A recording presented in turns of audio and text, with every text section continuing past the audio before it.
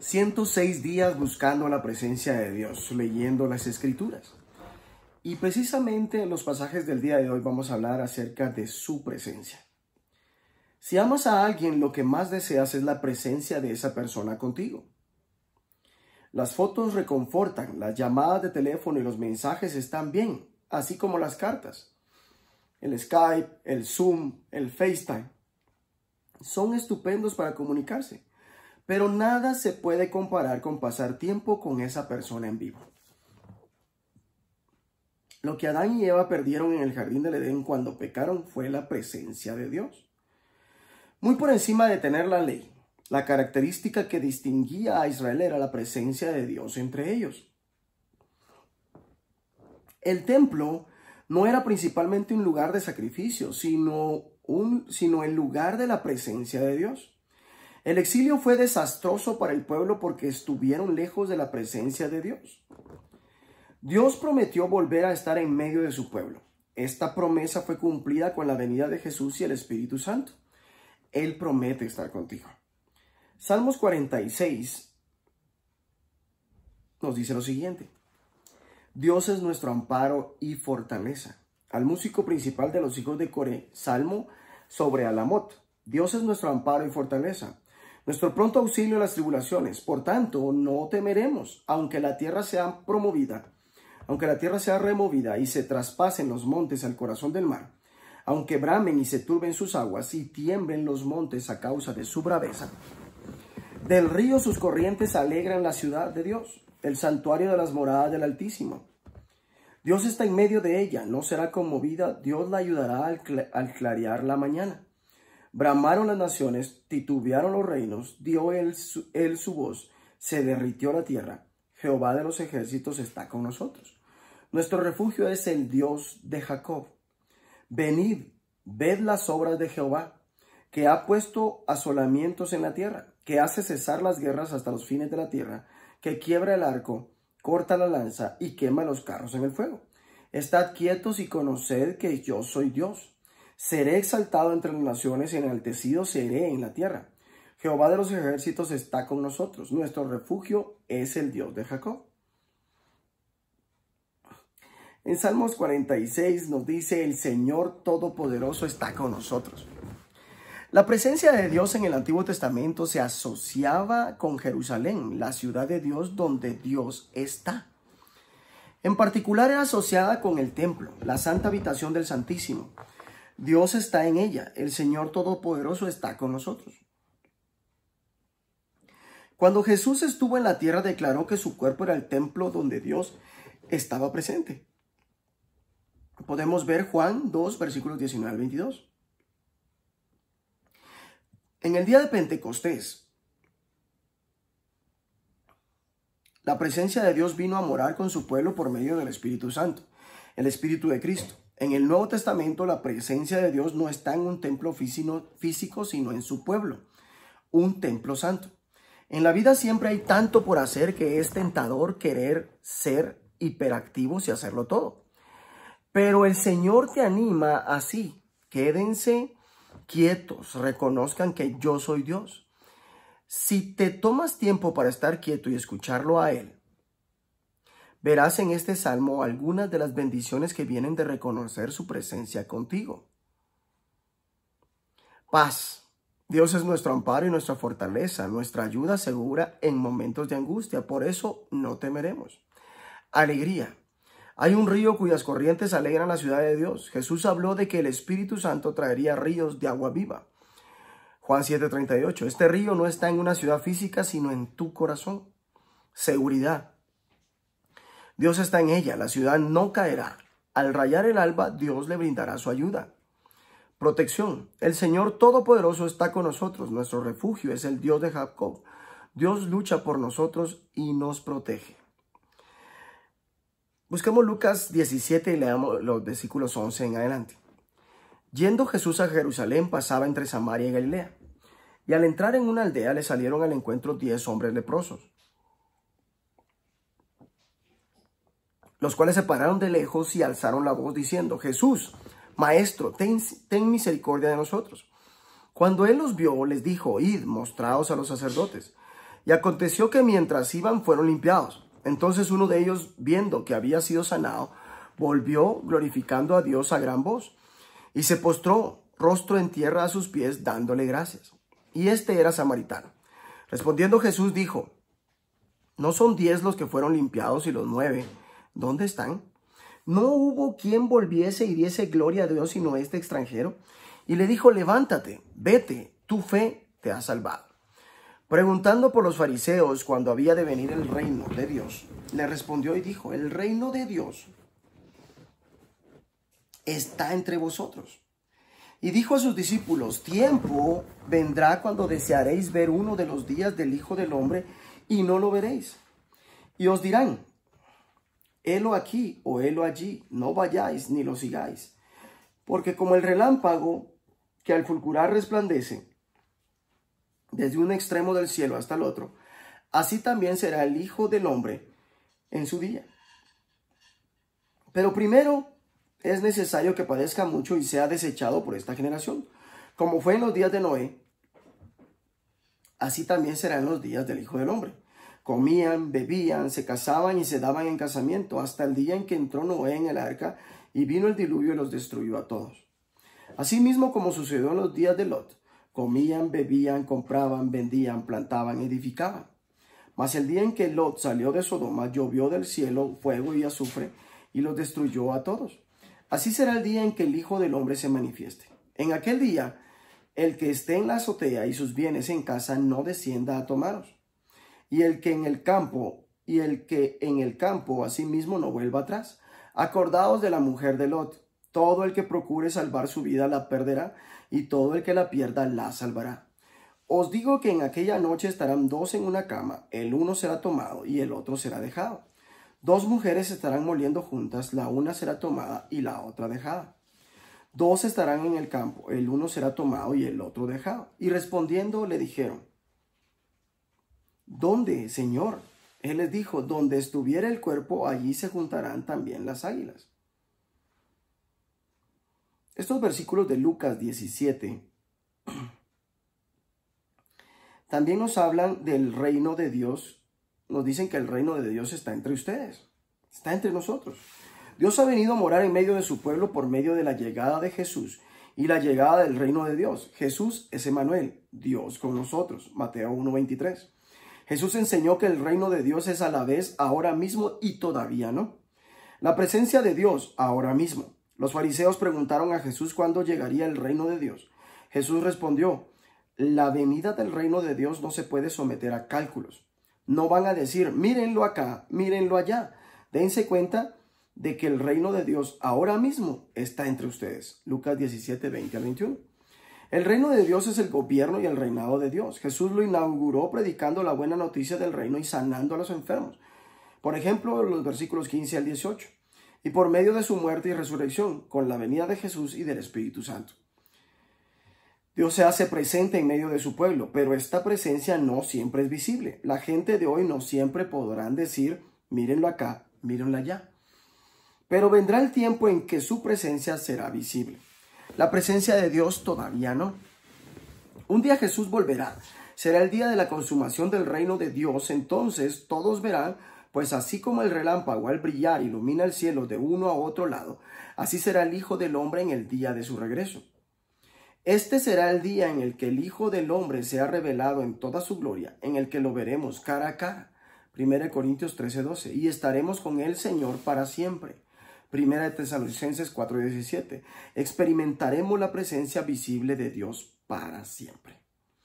Ahora mismo la presencia de Dios es invisible. La gente se centra en comer, beber, casarse, comprar, vender, plantar y construir. Ninguna de estas cosas está mal en sí misma, son parte de la vida regular y ordinaria. El problema tanto en la época de, Noé como en la de Lot es que la mayor parte de la gente hizo oídos sordos a las advertencias. Jesús nos urge a estar listos. Paradójicamente, quien intenta salvar su vida la pierde y quien la pierde la salvará. Si eres de los que siempre están intentando encontrar la manera de sacar el mayor partido a la vida para sí mismos, sacar cuanto más dinero, mayores posiciones, mejor reputación, ser más popular, entonces te perderás. Si pierdes tu vida negándote a ti mismo y sirviendo a Jesús, lo que de hecho encontrarás será la vida en toda su plenitud. Como vives en el tiempo que hay entre la primera y la segunda venida de Jesús, no olvides dar gracias a Dios por sus bendiciones. De los diez leprosos que Jesús curó, solo uno regresó alabando a Dios a grandes voces, cayó rostro en tierra a los pies de Jesús y le dio las gracias. Es fácil ser como los nueve leprosos que se olvidaron de dar gracias a Jesús. Cultiva una actitud de gratitud, tomándote el tiempo para dar gracias a Jesús por las oraciones respondidas, su constante amor, su perdón, su gracia y especialmente por la promesa de la presencia de Dios contigo. Recientemente, un día que estaba orando, decidí practicar esto y pensar en 100 cosas por las que dar gracias a Dios. Completé la lista muy rápido y me di cuenta de que apenas había comenzado la lista de las cosas por las que debo de dar gracias. Vayamos ahora a Deuteronomio y leamos los capítulos 26, 27 y algunos versículos del 28. Deuteronomio 26 dice lo siguiente, primicias y diezmos. Cuando hayas entrado en la tierra que Jehová tu Dios te da por herencia y tomes posesión de ella y la habites, entonces tomarás de las primicias de todos los frutos que sacares de la tierra que Jehová tu Dios te da y las pondrás en una canasta. E irás al lugar que Jehová tu Dios escogiere para hacer habitar allí su nombre. Y te presentarás al sacerdote que hubiere en aquellos días y le dirás, Declaro hoy a Jehová tu Dios que he entrado en la tierra que juró Jehová a nuestros padres que nos daría. Y el sacerdote tomará la canasta de tu mano y la pondrá delante del altar de Jehová tu Dios. Entonces hablarás y dirás delante de Jehová tu Dios, un arameo a punto de perecer fue mi padre, el cual descendió a Egipto y habitó allí, con pocos hombres, y allí creció y llegó a ser una nación grande, fuerte y numerosa. Y los egipcios nos maltrataron y nos afligieron, y pusieron sobre nosotros dura servidumbre. Y clamamos a Jehová, el Dios de nuestros padres, y Jehová oyó nuestra voz, y vio nuestra aflicción, nuestro trabajo y nuestra opresión. Y Jehová nos sacó de Egipto con mano fuerte, con brazo extendido, con grande espanto y con señales y con milagros. Y nos trajo a este lugar y nos dio esta tierra, tierra que fluye leche y miel. Y ahora he aquí, he traído las primicias del fruto de la tierra que me diste. Oh Jehová, y lo dejarás delante de Jehová tu Dios y adorarás delante de Jehová tu Dios.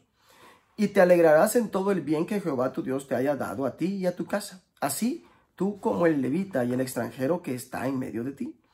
Cuando acabes de diezmar todo el diezmo de tus frutos en el año tercero, el año del diezmo darás también al levita, al extranjero, al huérfano y a la viuda. Y comerán en tus aldeas y se saciarán. Y dirás delante de Jehová tu Dios, he sacado lo consagrado de mi casa. Y también y también lo he dado al levita, al extranjero, al huérfano y a la viuda, conforme a todo lo que me has mandado. No he transgredido tus mandamientos ni me he olvidado de ellos. No he comido de ellos en mi luto, ni he gastado de ellos estando yo inmundo, ni de ello he ofrecido a los muertos. He obedecido a la voz de Jehová mi Dios. He hecho conforme a todo lo que me has mandado. Mira desde tu murada santa, desde el cielo, y bendice a tu pueblo Israel y a la tierra que nos has dado como juraste a nuestros padres, tierra que fluye leche y miel. Jehová tu Dios te manda hoy que cumplas estos estatutos y decretos. Cuida, pues, de ponerlos por obra con todo tu corazón y con toda tu alma. Has declarado solemnemente hoy que Jehová es tu Dios y que andarás en sus caminos y guardarás sus estatutos, sus mandamientos y sus decretos, y que escucharás su voz. Jehová ha declarado hoy que tú eres pueblo suyo de su exclusiva posesión como te lo ha prometido para que guardes todos sus mandamientos, a fin de exaltarte sobre todas las naciones que hizo para loor y fama y gloria, y para que seas un pueblo santo a Jehová tu Dios, como él ha dicho. Deuteronomio 27. Orden de escribir la ley en piedra sobre el monte Ebal. Ordenó Moisés con los ancianos de Israel al pueblo, diciendo, Guardaréis todos los mandamientos que yo os prescribo hoy y el día que pases el Jordán a la tierra que Jehová tu Dios te da, levantarás piedras grandes y las revocarás con cal, y escribirás en ellas todas las palabras de esta ley. Cuando hayas pasado para entrar en la tierra que Jehová tu Dios te da, tierra que fluye leche y miel, como Jehová el Dios de tus padres te ha dicho, cuando, pues, hayas pasado el Jordán, levantarás estas piedras que yo os mando hoy en el monte Ebal, y las revocarás con cal, y edificarás allí un altar a Jehová tu Dios Altar de piedras no alzarás sobre ellas instrumentos de hierro. De piedras enteras edificarás el altar de Jehová tu Dios, y ofrecerás sobre él holocausto a Jehová tu Dios, y sacrificarás ofrendas de paz, y comerás allí, y te alegrarás delante de Jehová tu Dios. Y escribirás muy claramente en las piedras todas las palabras de esta ley. Y Moisés, con los sacerdotes levitas, habló a todo Israel diciendo, Guarda silencio y escucha, oh Israel.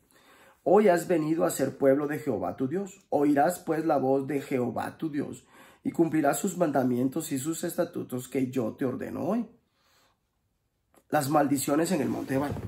Y mandó Moisés al pueblo en aquel día diciendo, Cuando hayas pasado el Jordán, estos estarán sobre el monte Jericín para bendecir al pueblo, Simeón, Leví, Judá, Isaacar, José y Benjamín. Y estos estarán sobre el monte Ebal para pronunciar la maldición, Rubén, Gad, Aser, Zabulón, Dan y Neftalí. Y hablarán los levitas y dirán a todo varón de Israel en alta voz, maldito el hombre que hiciere escultura o imagen de fundición, abominación a Jehová, hombre, obra de mano de artífice, y la pusiera en oculto, y todo el pueblo responderá y dirá amén. Maldito el que deshonrare a su padre o a su madre, y dirá todo el pueblo amén. Maldito el que redujere el límite de su prójimo, y dirá todo el pueblo amén. Maldito el que hiciere errar al ciego en el camino y dirá, y dirá todo el pueblo amén. Maldito el que pervirtiere el derecho del extranjero, del huérfano y de la viuda, y dirá todo el pueblo amén. Maldito el que se acostare con la mujer de su padre, por cuanto descubrió el regazo de su padre, y dirá todo el pueblo amén. Maldito el que se ayuntare con cualquier bestia, y dirá todo el pueblo amén. Maldito el que se acostare con su hermana, hija de su padre o hija de su madre, y dirá todo el pueblo, amén. Maldito el que se acostare con su suegra, y dirá todo el pueblo, amén. Maldito el que hiriere a su prójimo ocultamente, y dirá todo el pueblo, amén. Maldito el que recibiere soborno para quitar la vida del al inocente, y dirá todo el pueblo, amén. Maldito el que no confirmare las palabras de esta ley para hacerlas, y dirá todo el pueblo, amén. Deuteronomio 28, versículos 1 al 14 dice, Acontecerá que si oyeres atentamente la voz de Jehová tu Dios, para guardar y poner por obra todos sus mandamientos y que yo te prescribo hoy, también Jehová tu Dios te exaltará sobre todas las naciones de la tierra. Y vendrán sobre ti todas estas bendiciones y te alcanzarán. Y si oyeres la voz de Jehová tu Dios, bendito serás tú en la ciudad y bendito tú en el campo. Bendito el fruto de tu vientre, el fruto de tu tierra, el fruto de tus bestias la cría de tus vacas y los rebaños de tus ovejas. Bendita serán tu canasta y tu arteza de amasar. Bendito serás en tu entrada y bendito en tu salir. Jehová derrotará a tus enemigos que se levantaren contra ti. Por un camino saldrán contra ti y por siete caminos subirán de delante de ti. Jehová te enviará su bendición sobre sus graneros y sobre todo aquello en que pusieres tu mano, y te bendecirá en la tierra de que Jehová tu Dios te da te confirmará Jehová por pueblo santo suyo, como te lo ha jurado, cuando guardare los mandamientos de Jehová tu Dios, y anduvieres en sus caminos, y verán todos los pueblos de la tierra que el nombre de Jehová es invocado sobre ti, y te temerán, y te hará Jehová sobreabundar en bienes, en el fruto de tu vientre, en el fruto de tu bestia y en el fruto de tu tierra, en el país que Jehová juró a tus padres que te había de dar. Te abrirá Jehová su buen tesoro, el cielo para enviar la lluvia a tu tierra en su tiempo y para bendecir toda obra de tus manos. y prestarás a muchas naciones, y tú no pedirás prestado. Te pondrá Jehová por cabeza y no por cola, y estarás encima solamente y no estarás debajo. Si obedecieres los mandamientos de Jehová tu Dios, que yo te ordeno hoy, para que los guardas y los cumplas. Y si no te apartares de todas las palabras que yo te mando hoy, ni a, ni a diestra ni a siniestra para ir tras dioses ajenos y servirles.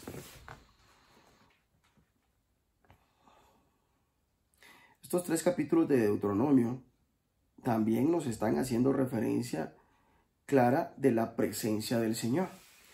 En este pasaje vemos parte del trasfondo del Antiguo Testamento para la comprensión de la presencia del Señor. La tierra que Dios ha dado como herencia era el lugar que eligió como residencia de su nombre. Tenían que recitar su historia en presencia del Señor tu Dios. Debían postrarse ante Él, ante la presencia de Dios. Tenían que orar por la bendición de Dios para su pueblo. Debían gozarse en la presencia del Señor. Dios había rescatado a su pueblo de la miseria, el trabajo y la opresión. Estas palabras también son una buena descripción de la vida sin la presencia de Dios. Él llamó a su pueblo para hacer su posesión preciosa. Les dice que edifiquen un lugar de alabanza donde se puedan gozar la presencia del Señor tu Dios. El pecado es lo que nos saca de la presencia de Dios. Por lo tanto, Dios advierte a su pueblo para que se abstengan de la idolatría, deshonrar a las familias, el robo, desorientar a los ciegos, la injusticia, la inmoralidad sexual, el asesino y los sobornos. En, contraste, si su pueblo obedece completamente, disfrutará de todas sus bendiciones. Dios promete bendecir sus hogares, familias, trabajo y otras actividades. Como escribe Joyce Meyer, nuestra obediencia no debe ser un acto ocasional, sino nuestra manera de vivir. Hay una gran diferencia entre quienes están dispuestos a obedecer diariamente y quienes solo quieren obedecer cuando necesitan salir de una dificultad. Ciertamente Dios muestra a la gente cómo salir de los problemas, pero derrama bendiciones abundantes sobre los que deciden vivir para Él de todo corazón, haciendo de la obediencia su estilo de vida. Por supuesto, ninguno de nosotros hemos obedecido a Dios completamente, solo Jesús lo ha hecho. Su muerte y resurrección hicieron posible que tú fueras perdonado para disfrutar de la presencia de Dios y un anticipo de todas las bendiciones que se prometen en este pasaje. Y un día, cuando Jesús regrese, las experimentarás en toda su plenitud en la presencia visible de Dios, Padre, Hijo y Espíritu Santo. Padre, gracias por todas las bendiciones que prometes. Gracias por el perdón que se alcanza en Jesucristo. Gracias porque experimento un anticipo de estas bendiciones en esta vida y un día las experimentaré completamente en la presencia visible de Dios. Que Dios te bendiga.